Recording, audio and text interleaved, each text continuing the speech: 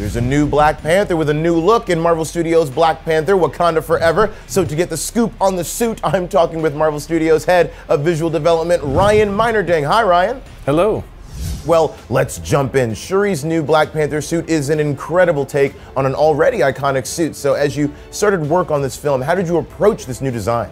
One of the great things about Shuri in the first Black Panther movie was that she had like pretty amazing, iconic looks across the board. Some that Ruth Carter designed, some that the visual development team designed. We were trying to look at pretty early on with how to translate some of those things into the Black Panther suit. And I think with, with Shuri, we were trying to find almost a slightly more fierce look I think we were, we were trying to evolve her into a character where she was stepping into the mantle in a way that was tremendously her own and, and that involved becoming a sort of more fierce version of Black Panther.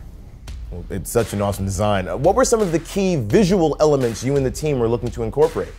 In terms of the overall aesthetic of the suit, it's, it's kind of the same as the other Panther suits where we're trying to make it as skin tight to her body as possible so it feels flexible, it feels like she can be acrobatic, she can be strong and powerful and doesn't have to have any sort of restrictions on her at all you know, one of the things that Ryan Coogler had asked for is sort of maybe even weaponry or, you know, starting with her Panther gauntlets becoming even larger or because she is a, you know, obviously a, a technology expert that the tech became added on and, and, those things got bulkier and, and almost made the suit look more powerful through having technology as part of a visual language. But as we got into it, we did realize we had so many amazing visual reference points from Shuri in the previous movie that we were kind of harkening back to those a lot.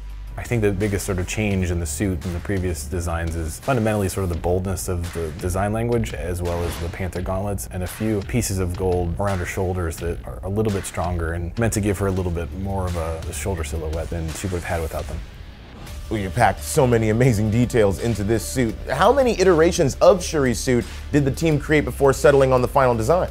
We probably had 50 or 60 different designs. I think there was a lot of really amazing things to play with. And having the, the comics as a base, but also having those amazing appearances in the first movie as a place to start was basically where we began.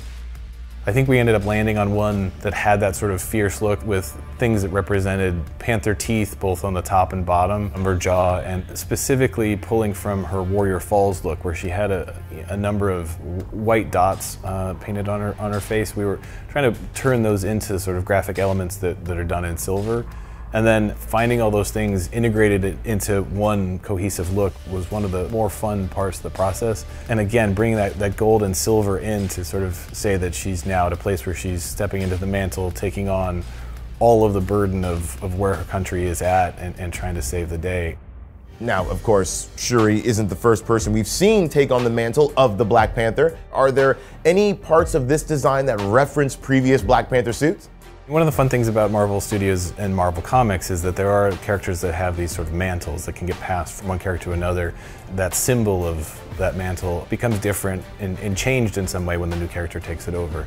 The suits that we start with end up meaning something and then how they translate into the next film and the next film all seem to like become useful in the storytelling going forward. And when we were working on the Black Panther suit for Civil War, that ended up being sort of termed sort of T'Challa's suit. I think in the Black Panther movie where T'Challa explains to Shuri that was what he had developed and Shuri creates that suit in Black Panther, right? And Killmonger ends up taking that gold suit and sort of making it his own at the end of that film. Essentially, the suit that Shuri ends up with is kind of a combination between T'Challa's suit and Killmonger's suit, uh, a mix of the silver and the gold. That's the Panther she needed to become in order to be able to fight Namor at the end.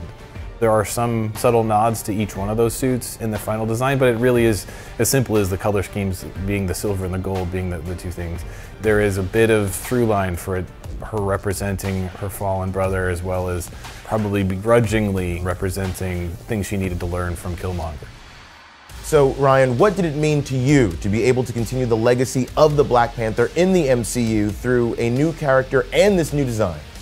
The fact that we were able to, to work on Shuri in Black Panther and to see her sort of transition into a full-on Black Panther of her own in Black Panther Wakanda Forever, it was an amazing experience. Like the, the idea of watching that character take on a mantle, do things that she didn't think she could do, try to live up to her brother's memory. For me, it's to have been part of this journey of watching this character become beloved by the audience and the fans and trying to figure out how Shuri can feel like she's she's taking that mantle and, and carrying it forward it was an incredible experience. I am the Black Panther, and I'm here for retribution. Well, you and the whole team really did an amazing job, Ryan. Thank you so much for talking with us. Thank you. It was great to be here. Thank you so much. And of course, everyone, go experience Marvel Studios' Black Panther Wakanda Forever in theaters now.